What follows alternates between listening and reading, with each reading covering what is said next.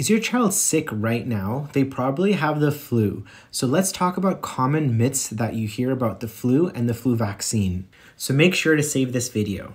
So I'm Dr. Hassan Ali, double board certified pediatrician. So myth number one, children don't get the flu. That's completely wrong. Children do in fact get the flu and it actually is worse than adults. They have prolonged viral shedding and can be sicker for longer periods of time compared to adults. So yes, for sure, they can get the flu and it can be really bad. Myth number two, I don't need to get the flu shot every year.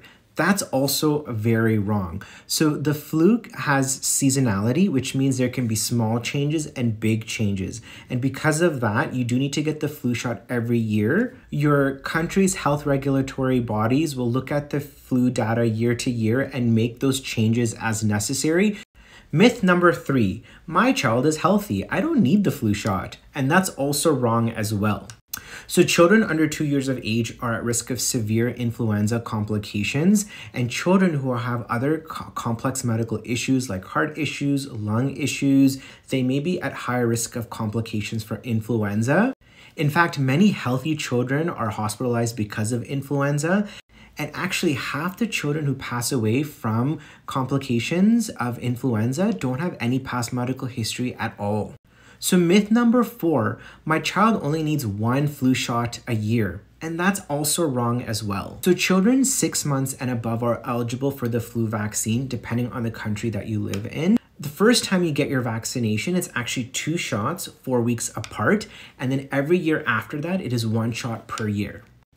And so, any child who's less than nine years of age who hasn't received their first flu vaccine, they'll need two of them. Anytime after that, they get one shot per year. Myth number five my child has allergies. They can't get the flu shot. And that's wrong as well.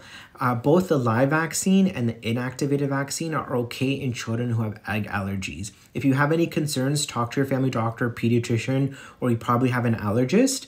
Myth number six Uh, the flu vaccine doesn't work, so I'm not going to give it to my child. Well, in fact, it does. For any child who actually has uh, a confirmed laboratory influenza, the risk reduction is 40 to 60%. Those are really good odds, so protect yourself.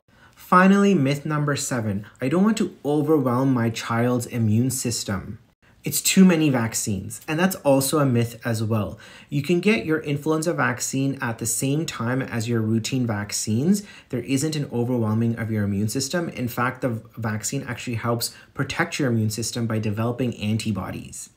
I'll link below some resources below that you can uh, take a look at and get some more information. And I'll always follow Peds Patrol for more tips.